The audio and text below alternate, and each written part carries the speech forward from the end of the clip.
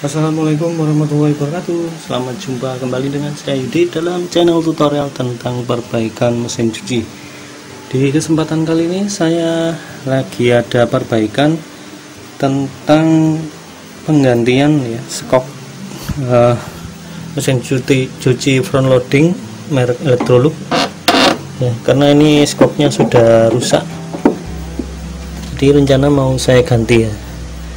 Di ini ya sudah lembek dan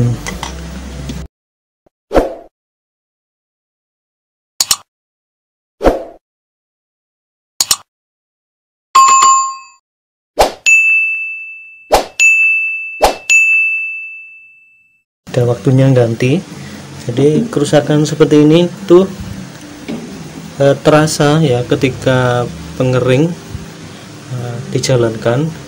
Dia eh, posisi mesin cucinya bisa bergerak sendiri ya bergerak getarannya terlalu tinggi. Jadi nanti akan saya ganti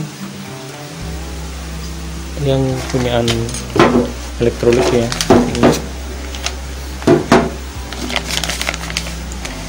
Yang aslinya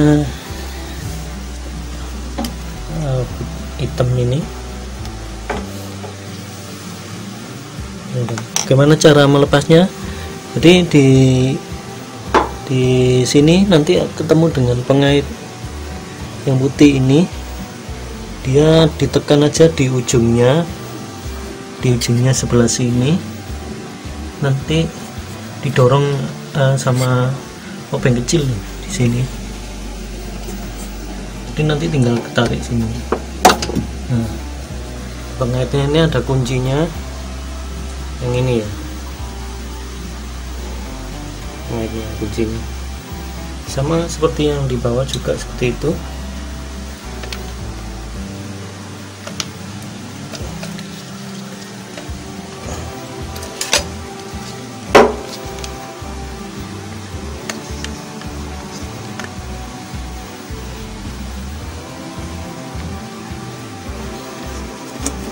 Dan lepas